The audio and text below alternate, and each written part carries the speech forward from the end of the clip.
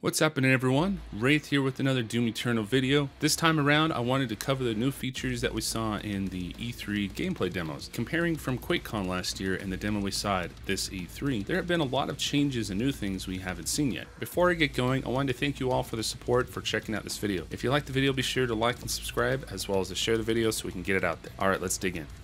The Bethesda Showcase showed off quite a bit of new things like new updates to older games, Orion, the streaming service, new games, and of course, Doom Eternal. I'll be honest, I was mostly wanting to only see Doom Eternal, but those new games have some potential. Back in QuakeCon of last year, we got to see about 15 minutes of gameplay and really got a taste of what Doom Eternal will be like. We of course got to see the new demons such as the Gargoyles, along with some new returning ones like the Cacodemon. Not to mention the new guns that will be able to eviscerate the forces of hell. As far as new weapons, the only actual new guns that weren't shown at QuakeCon was the chain gun, BFG 9000, and pistol. For the chain gun, this time time around the aesthetics are completely different, and not to mention the ammo doesn't seem to use the traditional ammo that the chain gun used in Doom 2016. However, it still uses the same ammunition, of course, as the heavy cannon as you can see in the UI weapon wheel, but it kinda looks like plasma. I'll talk about the UI a bit later. Other than that, the fire rate is faster and it spins up quicker than its predecessor. It has the mobile turret mod, but instead of three separate barrels, there are now four. We got a small glimpse of the BFG 9000 and it looks a bit different from the last one. At this point in the lore of the game, the BFG could be more of a fully developed weapon rather than a prototype. I imagine it'll be used the same way as it did in Doom 2016 and hopefully we'll see it in action at QuakeCon this year. Another big change was the equipment launcher. The launcher itself looks a little different and now has two noticeable barrels for the grenades and the flamethrower. The flamethrower as well seems to spew out more of a red flame than what we saw in QuakeCon last year. It may have just been the lighting or they tweaked it a bit for the newer gameplay. I'm still hoping there will be a type of upgrade to the equipment launcher or at least the ability to swap out other attachments. Let me know what you guys think on that. We finally got to see both of the mods for the plasma gun and they are way better than what we had in Doom 2016. First mod is a kind of microwave beam that will cook the enemy until they explode. Bigger they are, the bigger the explosion. The other mod is similar to the mod Heat Blast, where it would accumulate heat and then when activated it would send a heat wave from the gun that would kill most enemies within the radius. I really enjoyed this mod in Doom 2016 and used it all the time as a crowd control kind of tactic. Uh, this time the plasma gun has what seems to be the same concept but in a form of a sphere or type of plasma barrier that shoots forward and obliterates anything in its path. If you missed the Google Stadia demo a while back, we got to see the remote detonation mod for the rocket launcher. At E3, we got to see it in action as well. Nothing seems to have changed, but I wanted to mention it in case you haven't seen the Stadia demo. Along with the Stadia demo, we saw the micro missiles mod for the heavy cannon at the E3 showing. I really like that mod from Doom 2016, and I'm glad they carried it over to Doom Eternal. Those are the new features we got to see for the weapons, and hopefully in QuakeCon this year, we can finally see the bigger weapons like the BFG, Crucible, and of course the pistol in action. A big thing that id wanted to change in the new installments of Doom is how the movement will work for the Doomslayer. We already saw how the boost movements work along with the mechanics for the meat hook, but now there are a lot more things to consider. One big thing that stuck out is the return of the radiation suit. For those who are not aware, in the original games there was a white suit that you could get so you wouldn't take damage when walking on acid or really anything on the floor that could hurt you. In Doom 2016, the only way to not take damage around such surfaces was to either jump around them or use an invulnerability power up. Another feature is the ability to shoot certain spots to open gates and doors, etc., just like it was in the original game. There were some walls or secrets that you needed to shoot the wall in order to open it up. This feature is also used to activate certain things like blades swinging down to slice up a mancubus. I'm sure that will come in handy for other bigger demons. Along with those new features, there's also swimming involved. The original Doom didn't have any swimming, but Quake had it, so I'm thinking that this is a callback to Quake. This will really change up the gameplay a bit, at least for exploring the map as it's a feature we haven't had in a while. There's also the tentacle enemy that seems to act more like an obstacle rather than an actual enemy. The good thing about them is that you can see where they will pop up, but not every hole has a tentacle. Uh, they will definitely make it challenging for those who think that they can just blow through the game without watching their surroundings. The last thing I noticed that is somewhat new in the gameplay is the use of portals. In this gameplay, you can see a few blue-like portals that may teleport you to other parts of the map. Definitely a callback to the original games by using teleporters to get around and find secrets. However, they could just be part of the demo and may not actually be in the final game, so we'll see. All in all, these features are a little way to make some spots exciting and challenging, and to give the Slayer the ability to traverse the maps at ease. Something that really makes Doom stand out as a first person shooter is the lack of cutscenes. Doom 2016 somewhat had cutscenes, but not in the sense of a long cinematic experience like other games. It was more of a brief transition. Doom 3, on the other hand, did have longer cutscenes than any other Doom game, but we'll let that one slide as it was its own type of game and not really like the fast paced games that we have now. In Doom Eternal, it works much like Doom 2016, but this time we get to see the Slayer a lot more often. I believe they did this as a way to show off how awesome the Slayer looks, as well well as what he would look like with the other skins that we could use. It would be really cool to see the Demonic Slayer skin or even the Zombie Slayer skin in action. I love how id uses these transitions. It makes it feel more fluid when moving to another location. It reminds us how awesome the Slayer and the environment looks like in that perspective. Uh, not to mention, it's a subtle transition and a moment to get ready for the next arena. One of my complaints about Doom 2016 is that we didn't get to see the Slayer enough from a third person perspective. In Doom Eternal, I'm sure there will be more of a reasoning to the and a third person perspective once we finally get to play the whole game.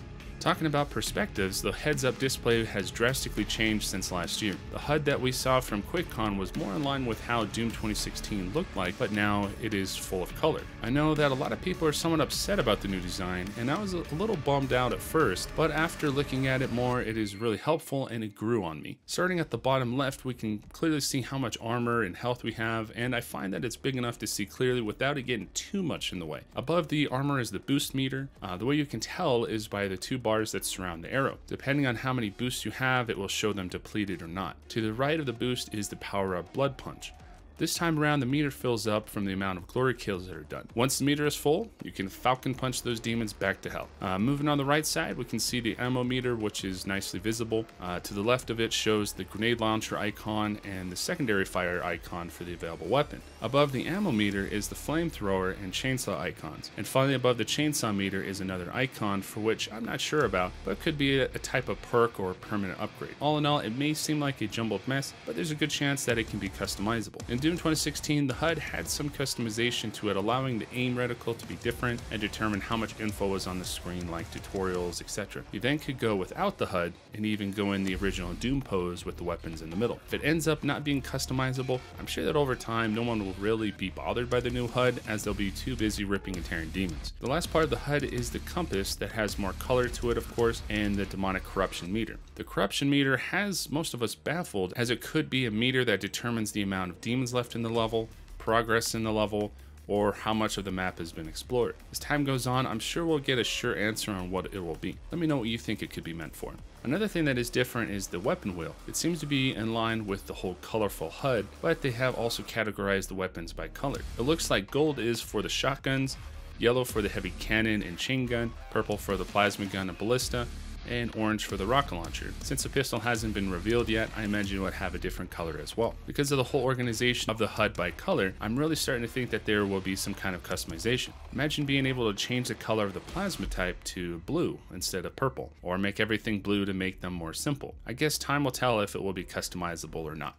Uh, something that was very useful in Doom 2016 was the use of the Praetor suit upgrades and the runes. Those would allow you to be a stronger and faster Demon Slayer and to take out hordes of enemies with ease. In Doom Eternal, it seems that we'll still have those upgrades, but they seem to be done differently. The runes, for instance, look a little different from what we've seen in the QuakeCon gameplay last year, and they seem to be a permanent upgrade until we know more about them. There are permanent upgrades for health, armor, and ammo in Doom 2016 in the form of Argent cells that you would find throughout each level, and now in Doom Eternal there are statues that you can break open to receive a shard to upgrade yourself. There isn't any gameplay footage that shows the upgrade statues for the armor or ammo, but I'm willing to bet they look very similar to the health statue. I would love to see what the menu would look like and see if there would be a way to customize your rune loadout if they are able to be set up like that. Hopefully QuakeCon this year will answer the many questions that we all have. Finally, one of the biggest new features of Doom Eternal is the enemies that we can smash to a pulp or slash in half. We did see quite a bit of new demons in the footage from QuakeCon last year, but now there are even more that we got to see. One such demon is the Carcass. If you watch the Google Stadia gameplay, there was a very small glimpse of the demon, but at E E3 we got to see a lot of him. One thing I noticed about the Carcass is that he seems to play a support role. He's able to put up an Argent shield or barrier as a way to block off fire from the Slayer and force him to maneuver around or above it. It may not seem like that big of an obstacle, but if you were intending to shoot your last round from the ballista or rocket launcher and he puts that wall up, you're out of luck. Another demon that looks awesome looks like a Cyber Hell Knight of sorts. He's even on the front cover for the game as well. Seems to act like the Hell Knight and has even more devastating melee strikes due to his energy blades. Another demon from the Stadia gameplay was the Prowler. It was a demon from the multiplayer in Doom 2016 and is now present to rip apart in Doom Eternal. He seems to have the ability to shoot a type of plasma as a primary attack along with melee strikes up close. He can also teleport which will make it very interesting when playing the game. Something that was pointed out by someone on a comment from my other video is that there is a chain gunner or possibly a shotgun zombie man in the game. It's really hard to see him in the trailer, but here he is in all his glory. It seems like there are multiple barrels on his gun, which would make him the chain gunner, but he could be something else.